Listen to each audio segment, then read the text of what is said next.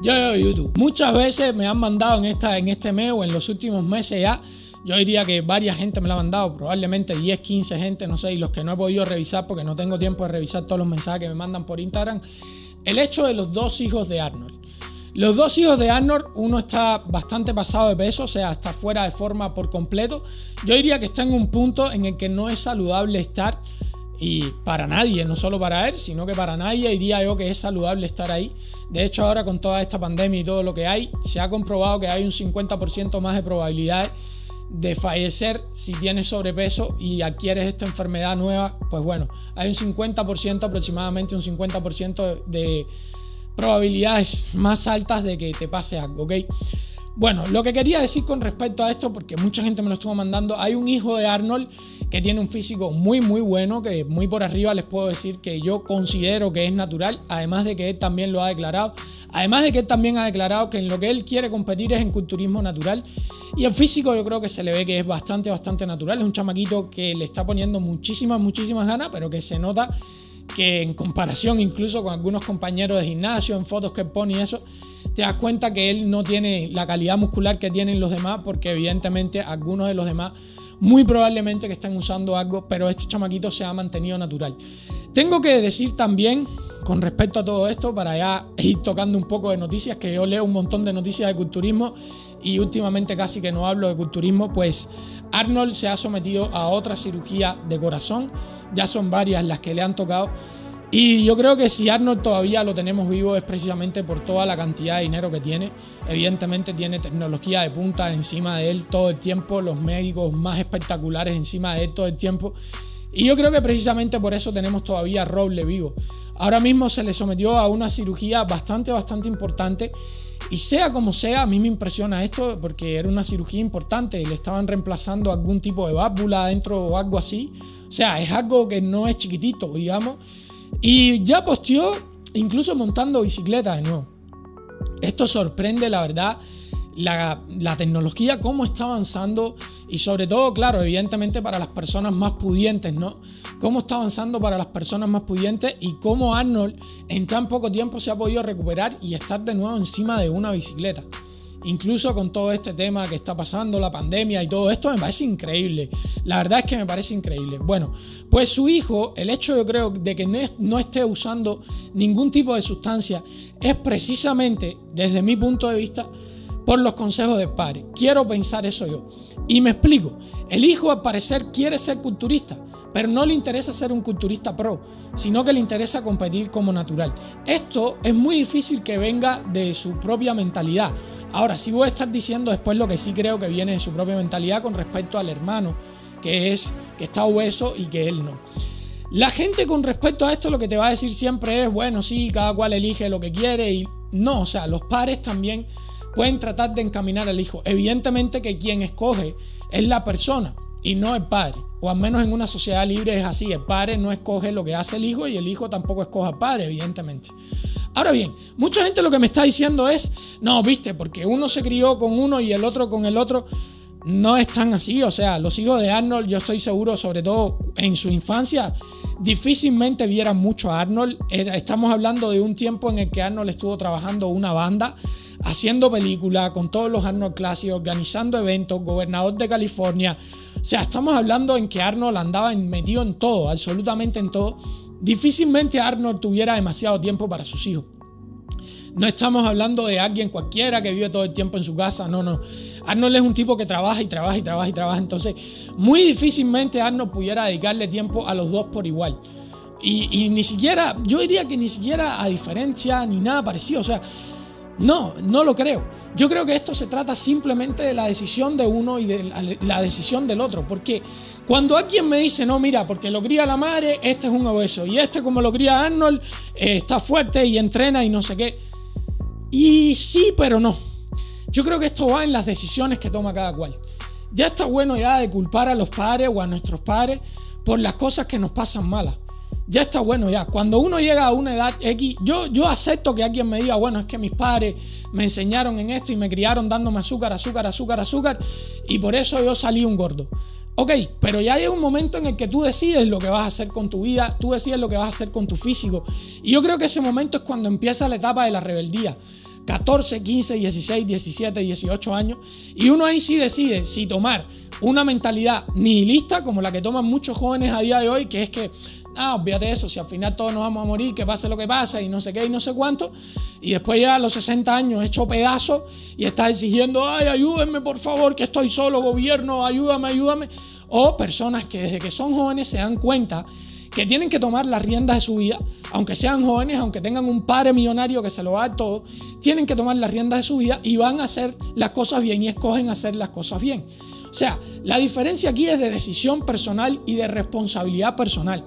El hecho de que tus padres te hayan hecho, o no, no con intención, o sea, pero el hecho de que tus padres te hayan dado comida chatarra, te hayan hecho comer mal, etcétera, etcétera, por desconocimiento, en su momento, no quita que tú viendo estos videos no puedas darte cuenta de que si empiezas a comer bien, a entrenar, etcétera, etcétera, etcétera, disciplina, esto, lo otro, lo otro, lo otro, y muchas cosas que he hablado en videos anteriores míos, no puedas llegar a tener un físico muy, muy decente. Por no decir que si tienes una genética buena puedes llegar a tener un físico descomunal y puedes llegar a ser un atleta pro, ya sea de fútbol, ya sea de lo que sea. O sea, no estoy hablando específicamente de culturismo, sino de cualquier tipo de deporte. Estoy hablando de eso como tal. Entonces, seguir culpando a los padres de que mira qué mala que es la madre de este hijo de Arnold porque lo obligó a ser un gordo, no sé qué, no sé cuánto. No, no, si ese chamaco ya tiene una edad que ya, ya, ya está grande. Ya está grande para tomar sus propias decisiones. Porque después aquí fíjense la doble moral.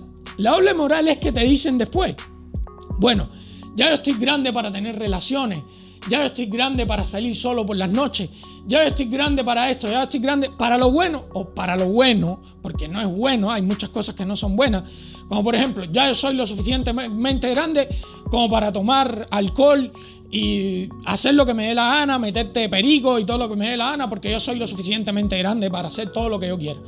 Ah, pero no eres lo suficientemente grande, entonces como para asumir la responsabilidad de que tu físico es una porquería por tu culpa, no por culpa de tu madre. No, no, ahí no. Cuando la responsabilidad es por un hecho malo, entonces la culpa es de mis padres. Y cuando es para algo que yo considero bueno, que realmente esto se puede interpretar como un punto de vista nihilista, te dicen, ah, no, no, pero es que yo soy grande, yo puedo hacer lo que me dé la gana. Y así estamos a nivel social, que todo el mundo, y esto lo digo en serio, todos los mensajes que recibí fueron, porque mira, el hijo de Arnold que está gordo se crió con la madre y el hijo de Arnold que está fuerte se crió con el padre. ¿Ustedes creen realmente que Arnold tenía el tiempo para dedicarle? Miren, yo les voy a poner el ejemplo, aquí se los traigo, de Sergio Oliva. Y es que Sergio Oliva es un culturista cubano, probablemente o el mejor o uno de los mejores culturistas de la historia. Pero le tocó en su momento competir con Arnold. Y Sergio Oliva, una de las cosas que dijo, él no se llevaba muy bien con su padre, tuvo muchos problemas con su padre, etcétera, etcétera. Sin embargo, Sergio Oliva Jr., que es el hijo, no se llevaba bien con el padre, pero aún así ahora lo admira. Y ahora se ha dado cuenta de un montón de cosas buenas que hizo el padre, también teniendo en cuenta las malas. De hecho, hay una entrevista por ahí que dice mi padre fue muy obstinado. Porque, por ejemplo, dice que no participó ni siquiera en la película de Depredador, la película del bicho este, en la que Arnold es un bicho extraterrestre, que casi todo eso. Creo que todo el mundo ha visto el. no es el exterminador, es.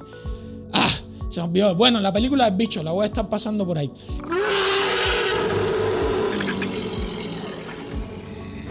En, en esa película, Depredador, se llama Depredador la película, en esa película, Arnold lo había invitado a él a participar. Y él dice que no porque Arnold iba a ganar más dinero que él.